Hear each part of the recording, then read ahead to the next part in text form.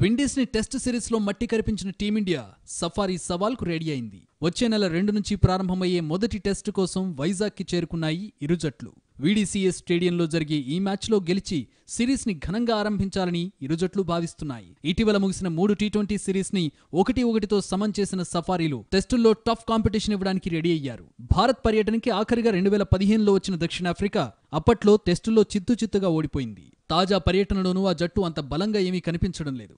నాలుగేళ్ళ క్రితం భారత్కి కాస్త పోటీనిచ్చిన సీనియర్ క్రికెటర్లు రిటైర్మెంట్ ప్రకటించేసి ఉండడంతో సఫారీ టీం బలహీనంగా ఉంది. డూప్లెసీ డీకాక్ మహరం బ్యాటింగ్ మీద వారి విజయ అవకాశాలు ఆధారపడి ఉన్నాయి. బౌలింగ్లో ప్రోటీస్ టీం స్ట్రాంగ్గా ఉంది. రబాడా ఎంగిడి ఫిలాండర్లతో సఫారీ పేస్ బౌలింగ్ భీకరంగా ఉంది. స్పిన్ బౌలింగ్లో కేశవ్ మహారాజ్ చెలరేగడానికి సిద్ధంగా ఉన్నాడు. టీమిండియాకి జట్టు కూర్పు పెద్ద తలనొప్పిగా మారింది. ఓపెనింగ్లో రోహిత్ను పరీక్షించే అవకాశం ఉంది. పుజారా కోహ్లీ రహానే విహారీలతో టీమిండియా బ్యాటింగ్కు తిరుగులేదు.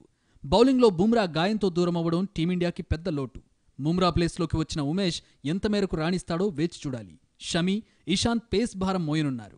స్పిన్ బౌలింగ్లో అశ్విన్ జడేజాలు జట్టును ముందుండి నడిపించనున్నారు. టెస్టుల్లో ఇరు జట్ల మధ్య మొత్తం ముప్పై ఆరు మ్యాచ్లు జరిగాయి. ఇందులో ప్రోటీస్తే పైచేయిగా ఉంది. సఫారీ పదిహేను మ్యాచ్లు నెగ్గితే టీమిండియా పదకొండు మ్యాచ్ల్లో గెలిచింది. మరో పది మ్యాచ్లు డ్రా అయ్యాయి. టెస్టు ఛాంపియన్షిప్లో దూసుకుపోవడానికి ఈ సిరీస్ రెండు జట్లకు కీలకం. దీంతో సిరీస్ నెగ్గి ఛాంపియన్షిప్ పాయింట్స్ టేబుల్లో సత్తా చాటాలని రెండు జట్లు భావిస్తున్నాయి.